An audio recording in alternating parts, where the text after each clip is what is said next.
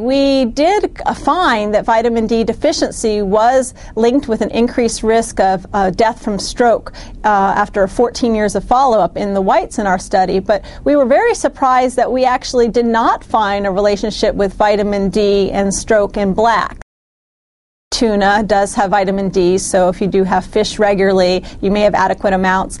Um, in the United States, we fortify milk and orange juice with vitamin D, but it's a modest amount. About eight ounces of milk has about 100 international units. So consider that 5 to 15 minutes of sunlight exposure gives you approximately 3,000 international units of vitamin D. That's 30 times a, a glass of milk for a very brief sunlight exposure.